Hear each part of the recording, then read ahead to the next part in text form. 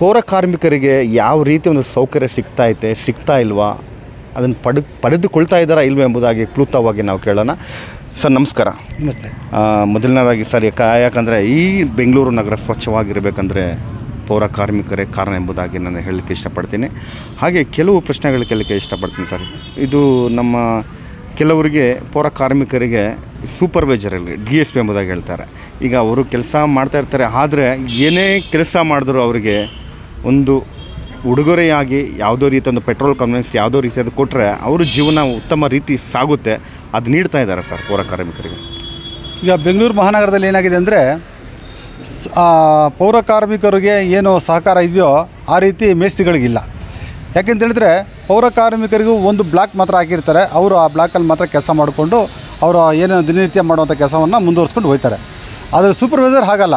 ಸೂಪರ್ವೈಸರ್ಗೆ A E ಆಗ್ಬೋದು A W ಆಗಿರ್ಬೋದು ಅಥವಾ ಎಂ ಎಲ್ ಎ ಆಗಿರ್ಬೋದು ಕೌನ್ಸಲರ್ ಆಗಿರ್ಬೋದು, ಯಾರೇ ಒಂದು ಫೋನ್ ಕಾಲ್ ಮಾಡಿದ್ರು ಕೂಡ ತಕ್ಷಣ ಅವರು ಅಲ್ಲಿ ಹೋಗ್ಬಿಟ್ಟು ಅಟೆಂಡ್ ಮಾಡಿಬಿಟ್ಟು ಆ ದೂರನ್ನು ಪರಿಹರಿಸಬೇಕು. ಚಾಲಕರಿಗೆ ಯಾರಿಗೂ ಒಂದು ರೂಪಾಯಿ ಕೊಡಲಿಲ್ಲ. ಯಾಕೆಂತ ಹೇಳಿದ್ರೆ, ಎಲ್ಲ ಕೆಲಸ ಒಂದೇ ಥರ ಇರೋದು. ವಾಸನೆ ಒಂದೇ, ಶ್ರಮ ಒಂದೇ ಒಂದೇ ಬಿ ಬಿ ಎಂ ಪಿಯಲ್ಲಿ ಕೆಲಸ ಮಾಡ್ತಿರುವಂಥ ಆಟೋ ಚಾಲಕರಿಗೆ ಮತ್ತು ಸೂಪರ್ ನಮ್ಮ ಕಾಂಪ್ಯಾಕ್ಟ್ ಚಾಲಕರಿಗೆ ಯಾಕೆ ಕೊಟ್ಟಿಲ್ಲ ಅಂತ ಹೇಳಿದ್ರೆ, ಈ ಬಿ ಬಿ ಎಂ ಪಿಯಲ್ಲಿ ಮಲ್ತಾ ಇದ್ದವ್ರನ್ನೇ ನೋಡೋದು, ಮಾಡೋದು ಜಾಸ್ತಿ. ಮಲ್ತಾ ತೋಂಡ ಅಂದರೆ ಹೇಗೇನೆಂದರೆ ಇವರು ನಮಗೆ ನೇರ ವೇತನ ಇಲ್ಲಿ ಕೆಲಸ ಮಾಡ್ತಾಯಿದ್ದಾರೆ ಇವ್ರು ಮಾತ್ರ ಕೊಡೋಣ, ಅವರು ಗುತ್ತಿಗೆ ಆಧಾರದ ಮೇಲೆ ಕೆಲಸ ಮಾಡ್ತಾಯಿದ್ದಾರೆ ಅವರು ಗುತ್ತಿಗೆದಾರರು ಕೇಳೋಣ ಅಂತೇಳಿ ಅವರು ಒಂದು ಅನಿಸಿಕೆ ಇದೆ.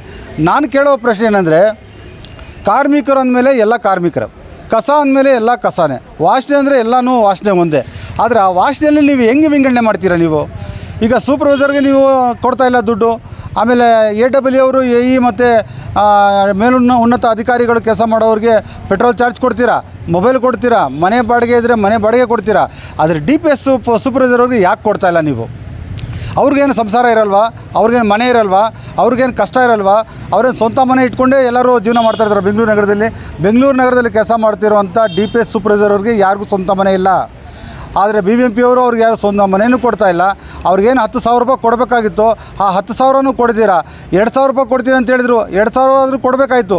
ಅದು ಕೂಡ ವಂಚನೆ ಮಾಡ್ತಿರುವಂಥ ಬಿ ಬಿ ಎಂ ಪಿ ಅಧಿಕಾರಿಗಳಿಗೆ ನಾನು ಕೇಳಿರೋದೇನೆಂದರೆ ಮತ್ತೆ ಮತ್ತೆ ಅವರನ್ನು ಮನವಿ ಮಾಡ್ಕೊತಿದ್ದೀನಿ ಡಿ ಪಿ ಎಸ್ ಸೂಪರ್ವೈಸರ್ಗಳಿಗೆ ತುಂಬ ಕಷ್ಟ ಇದೆ. ಅವರು ಬರೋ ಹೋಗೋಕ್ಕೂ ತುಂಬ ಖರ್ಚುಗಳಾಗ್ತದೆ ಅಂತ ಹೇಳಿದ್ರು. ಎರಡು ಸಾವಿರ ಆದರೂ ಕೊಡಬೇಕಾಯ್ತು. ಅದು ಕೂಡ ವಂಚನೆ ಮಾಡ್ತಿರುವಂಥ ಬಿ ಎಂ ಪಿ ಅಧಿಕಾರಿಗಳಿಗೆ ನಾನು ಕೇಳೋದೇನೆಂದರೆ ಮತ್ತೆ ಮತ್ತೆ ಅವ್ರನ್ನ ಮನವಿ ಮಾಡ್ಕೊತಿದ್ದೀನಿ ಡಿ ಪಿ ಎಸ್ ಸೂಪರ್ವೈಸರ್ಗಳಿಗೆ ತುಂಬ ಕಷ್ಟ ಇದೆ. ಅವರು ಬರೋ ಹೋಗೋಕ್ಕೂ ತುಂಬ ಖರ್ಚುಗಳಾಗ್ತವೆ. ನೀವು ಕೊಡುವಂಥ ಹದಿಮೂರು ಸಾವಿರ, ಹದಿನಾಲ್ಕು ಸಾವಿರ ರೂಪಾಯಿ ಅವರಲ್ಲಿ ಜೀವನ ನಡೆಸೋದು ತುಂಬ ಕಷ್ಟ ಆಗಿದೆ. ಅವರ ಮಕ್ಕಳ ವಿದ್ಯಾಭ್ಯಾಸ ಕೂಡ ತುಂಬ ಕಷ್ಟ ಆಗಿದೆ. ಮನೆ ಬಾಡಿಗೆ ಕಟ್ಟ, ಕಟ್ಟೋಕ್ಕೆ ಕೂಡ ತುಂಬ ಕಷ್ಟ ಆಗಿದೆ. ಅಂಥದ್ರಲ್ಲಿ ಟೂ ವೀಲರು ಸಾಲ ಸೋಲ ಮಾಡಿ ತೊಗೊಂಡು ಬಂದುಬಿಟ್ಟು ಮತ್ತೆ ಪೆಟ್ರೋಲ್ ಹಾಕ್ಕೋಬೇಕು, ಮತ್ತೆ ಮೊಬೈಲ್ ಚಾರ್ಜಿಗೂ ಕಟ್ಟಬೇಕಂದ್ರೆ ತುಂಬ ಕಷ್ಟ ಇದೆ. ಡಿ ಪಿ ಎಸ್ ಸೂಪರ್ವೈಸರ್ ಏನು ಸೂಪರ್ವೈಸರ್ಗೆ ತುಂಬ ಕಷ್ಟ ಇರೋದ್ರಿಂದ ನಾನು ಮತ್ತೆ ಮತ್ತೆ ಮನವಿ ಮಾಡ್ಕೊಳ್ತೀನಿ. ಅವ್ರಿಗೆ ಹತ್ತು ಸಾವಿರ ರೂಪಾಯಿ ನೀವು ಕೊಡಲೇಬೇಕು. ಸರ್, ಇನ್ನೊಂದು ಪ್ರಶ್ನೆ. ಈಗಾಗಲೇ ನೀವು ದಾಸರಲ್ಲಿ ಕಚೇರಿ, ಬೃಹತ್ ಬೆಂಗಳೂರು ಮುಖಂಡ ಪಾರ್ಕ್ ಕಚೇರಿ ಮುಂದೆ ಇದ್ದೀರಾ?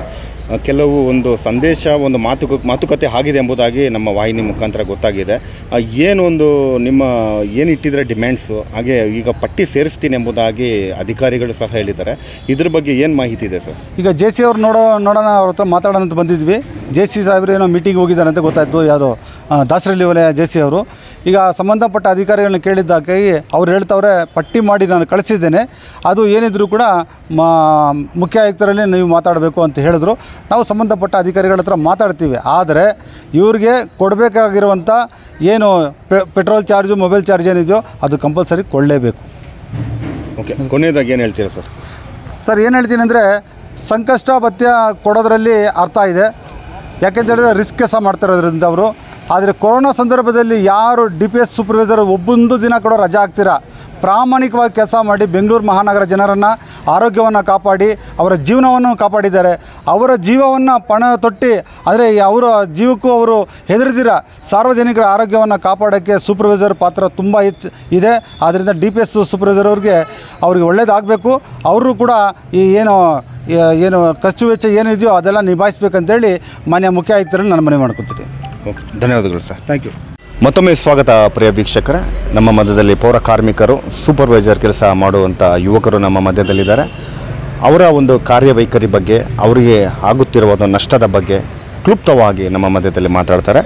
ನಮಸ್ಕಾರಪ್ಪ ನಮಸ್ಕಾರ ಏನು ಹೇಳಿಕ್ಕೆ ಇಷ್ಟಪಡ್ತೀರಾ? ಯಾವ ರೀತಿ ಇದೆ ನಿಮ್ಮ ಒಂದು ಪೌರ ಕಾರ್ಮಿಕರ? ಯಾಕಂದರೆ ಈಗಷ್ಟೇ ನಮ್ಮ ಸಿ ಎನ್ ಆನಂದರವರು ಬಂದು ನಿಮ್ಮ ಒಂದು ಕಷ್ಟವನ್ನು ವಿವರಿಸಿ ಅದಕ್ಕೆ ಒಂದು ಸಮಾಲೋಚನೆ ಮಾಡಿ ಒಂದು ವಿವರಣೆ ನೀಡಿ ಮಾತಾಡಿದ್ರು.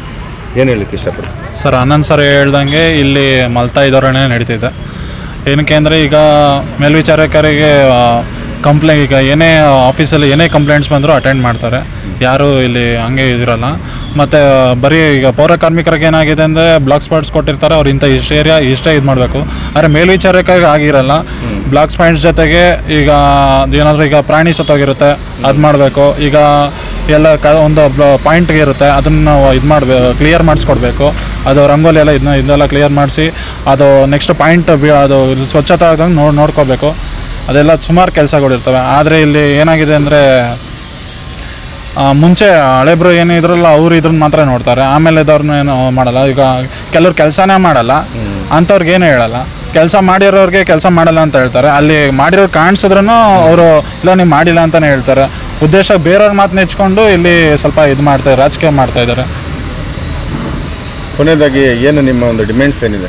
ಡಿಮ್ಯಾಂಡ್ಸ್ ಏನಂದ್ರೆ ಈಗ ಎಲ್ಲ ವಾರ್ಡಲ್ಲೂ ಮೇಲ್ವಿಚಾರಕರಿಗೆ ಪೆಟ್ರೋಲಲ್ಲಿ ಏನು ಎರಡು ಸಾವಿರ ರೂಪಾಯಿ ಏನಾಗಿದೆಯೋ ಇಲ್ಲೂ ದಾಸರಳ್ಳಿ ಇದ್ದಲ್ಲೂ ಇಲ್ಲೂ ಎಲ್ರಿಗೂ ಕೊಡಬೇಕು ಅನ್ನೋದು ನಮ್ಮ ಇದು ಡಿಮ್ಯಾಂಡ್ ಸರ್ ನೋಡಿದ್ರಲ್ಲ ಪ್ರಿಯ ವೀಕ್ಷಕರ ಸಿ ಎನ್ ಆನಂದರವರು ಹೇಳಿದ ಪ್ರಕಾರ ಮಲತಾಯಿ ಧೋರಣೆ ಮಾಡುತ್ತಿದ್ದಾರೆ ಎಂಬುದಾಗಿ. ಯಾಕಂದರೆ ಪೌರ ಕಾರ್ಮಿಕರಿಗೆ ಅವರಿಗೆ ಮಾಡುವ ಕೆಲಸ ಯಾಕಂದರೆ ಅಮೂಲ್ಯವಾದ ಕೆಲಸ. ಯಾಕಂದರೆ ವಿಶೇಷವಾಗಿ ಕಾಣಬೇಕೆಂಬುದಾಗಿ, ಯಾಕಂದರೆ ಮಾನ್ಯ ಪ್ರಧಾನಿ ಮಂತ್ರಿಗಳು ಅವರ ಆಫೀಸರ್ಸ್ ಎಂಬುದಾಗಿ ಒಂದು ವಿವರಣೆ ನೀಡಿ ಸ್ಪಷ್ಟವಾಗಿ ಹೇಳಿದ್ದಾರೆ. ಅಂಥವ್ರನ್ನ ನಾವು ಗೌರವದಿಂದ ಅವರ ಕಷ್ಟಕ್ಕೆ ಆಗಬೇಕೆಂಬುದಾಗಿ ನಾನು ರಾಜ್ಯ ಸರ್ಕಾರಕ್ಕೆ, ಬೃಹತ್ ಬೆಂಗಳೂರು ಮಹಾನಗರ ಪಾಲಿಕೆಯಾದಂಥ ಕಮಿಷನರ್ ಅವರಿಗೆ ಪ್ರತಿಯೊಬ್ಬರಿಗೂ ನಾನು ನನ್ನ ವಾಹಿನಿ ಮುಖಾಂತರ ನಾನು ಧನ್ಯವಾದಗಳು ಸಲ್ಲಿಸುತ್ತಾ ಈ ಒಂದು ಪಟ್ಟಿ ಮುಂಬರುವ ದಿನಗಳಲ್ಲಿ ಪೌರ ಕಾರ್ಮಿಕರಿಗೆ ಉತ್ತಮವಾದ ಒಂದು ಆರೋಗ್ಯದ ಬಗ್ಗೆ ಆಗಲಿ ಅವರ ವೇತನ ಬಗ್ಗೆ ಆಗಲಿ ಪ್ರತಿಯೊಂದು ನಿಲುವನ್ನು ಅವರು ನೀಡಬೇಕೆಂಬುದಾಗಿ ನಾವು ಕೇಳಿಕೊಳ್ತೀವಿ. ಧನ್ಯವಾದಗಳು.